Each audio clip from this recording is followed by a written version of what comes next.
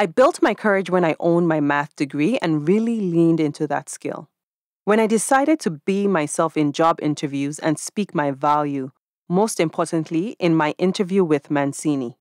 At that point in my career, I needed to work for a firm that aligned with my values and perspective.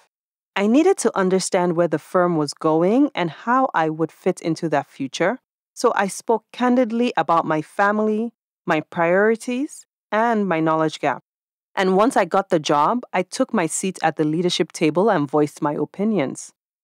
Each of those moments took courage, and my courage has built up over time.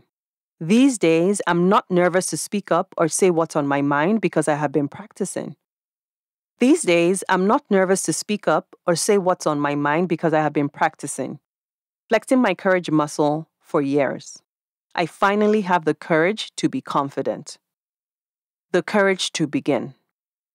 If you have the courage to begin, you have the courage to succeed. David Viscott. I always keep this quote from David Viscott in the back of my mind. At many times in my career, and as I've built my side projects, I've needed courage just to get started. When you face a big opportunity, you can choose to shrink down into your comfort zone or have the courage to take the first step into the unknown. I can point to so many times when I was taking on something big, new, or overwhelming. I wasn't sure what all of the steps would look like, but I have learned that if I get started, the additional steps will unfold. I commit to really big, bold goals, tackling them by breaking them into much smaller bite sized pieces. By getting started, I can progress toward my end goal. This habit probably comes from my math background. It's literally how to solve complex math problems one line at a time.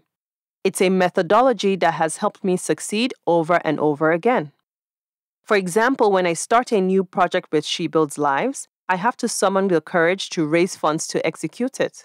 However, as soon as I make the first phone call, the next steps will come. When I became CFO, if I had just looked at the title and the scope of the role and all the responsibility that came with it, I would have been completely overwhelmed. But I have progressed by dealing with problems and situations as they come in little pieces. Even writing this book took courage to get started. I knew I wanted to do it, but I didn't know all of the steps I'll take from the beginning to the end.